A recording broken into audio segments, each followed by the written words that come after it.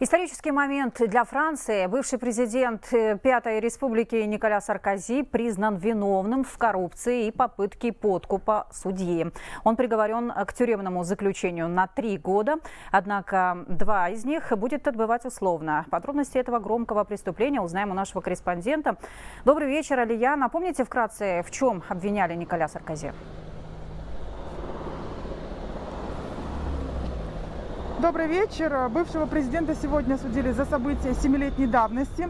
По версии следствия, в 2014 году Николя Саркози при посредничестве своего адвоката пытался выведать у высокопоставленного судьи информацию по уголовному делу, касающемуся финансирования его президентской кампании. Э, дело называется о прослушках, поскольку вся э, доказательная база была собрана через телефонные разговоры.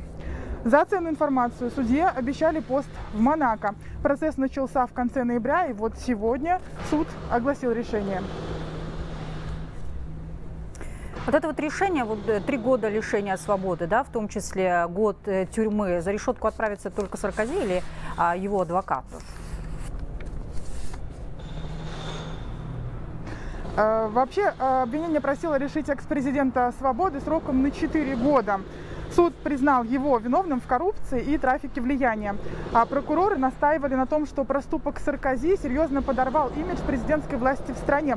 Я процитирую слова судьи. «А, Николя Саркози использовал свой статус, политические и дипломатические отношения, чтобы вознаградить судью.